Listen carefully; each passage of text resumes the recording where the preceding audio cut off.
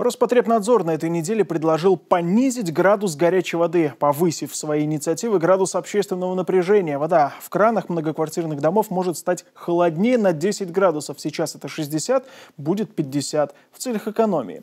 Моя коллега Алена Бензик убедилась, что и сегодня горячая вода в домах Амичей до норматива не дотягивает, да и сэкономить на этом точно не получится. Замеры будем делать в разных районах города. Для чистоты эксперимента выберем средние этажи типовых панельных многоэтажек. Ну а для точности наших показаний сливать воду будем целых три минуты. Ленинский округ, улица Калинина. Открываем кран на полную. Температура воды должна быть 70 градусов, а это уже ожог первой степени. Но хозяин квартиры Дмитрий спокойно трогает ее рукой. Вот даже сейчас льется абсолютно горячая вода, я держу руку и не сказал бы, чтобы она настолько горячая, как нужно. Вместо 60 градусов всего 37. Это подтверждает шкала термометра для купания младенцев. В доме на Звездово Куйбышевского округа пенсионерка Галина Семеновна моет посуду исключительно горячей водой. Ну, в принципе, ей можно и мыть, не разводить.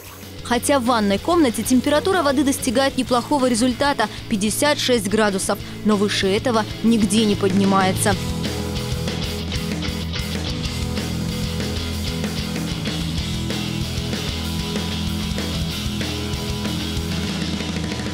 Специально градус никто не понижает. Горячей воды может не быть по разным причинам. Поставщик не соблюдает температурный график, изношено оборудование или воду в квартирах льют неравномерно. Но чаще мечи переплачивают за недогретую воду из-за тупиковой открытой системы горячего водоснабжения. Кипяток идет к дому, а ТЭЦ быстро остывает. Эксперты отмечают, выгоднее получать горячую воду по закрытой схеме, когда вода нагревается в подвале дома, после циркулирует по кругу, а поставщику остается лишь поддерживать температуру. Но на такую систему город перейдет не раньше, чем к 2020 году.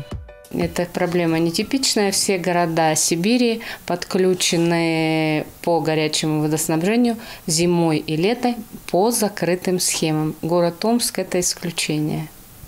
Ну, так сложилось у нас как бы вот исторически. По закону, если горячая вода в доме ниже 57 градусов, то и платить за нее надо меньше. А если термометр показывает не выше 40, то плата за нее вообще должна быть как за холодную.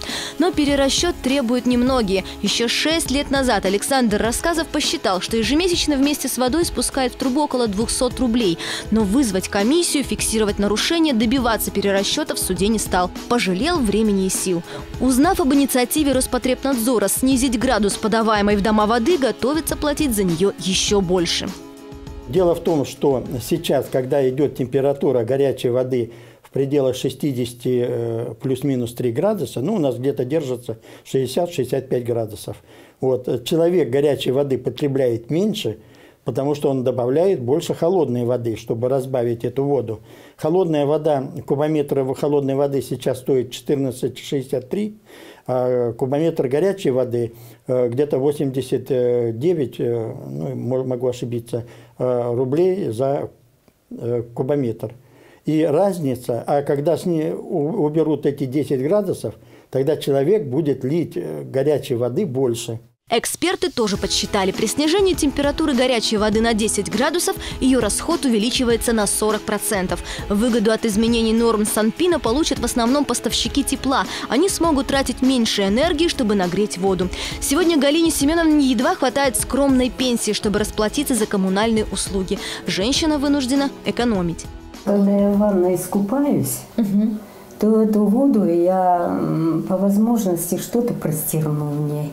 И ведеркой, ну, по надобности в туалет то же самое смываю этой же водой. Ну, в течение примерно трех дней. И если депутаты Госдумы все-таки решат понизить градус горячей воды в кранах, то одновременно повысят градус недовольства потребителей.